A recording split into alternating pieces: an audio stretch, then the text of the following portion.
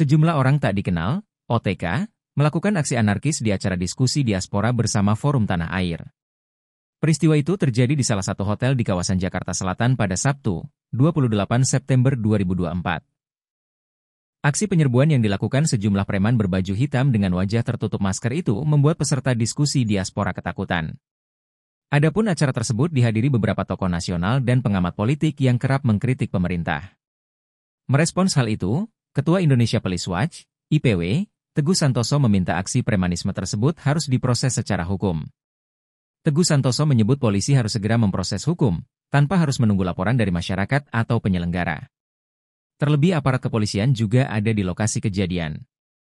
Menurutnya anggota polisi yang berada di lokasi tersebut, bisa langsung membuat laporan polisi. Ia mewanti-wanti polisi, agar publik tidak beranggapan bahwa aparat melakukan pembiaran terhadap tindak pidana yang dilakukan oleh sekelompok diduga preman. Dikhawatirkan pembiaran itu berujung penilaian buruk pada institusi Polri. Download Tribun X sekarang, menghadirkan lokal menjadi Indonesia.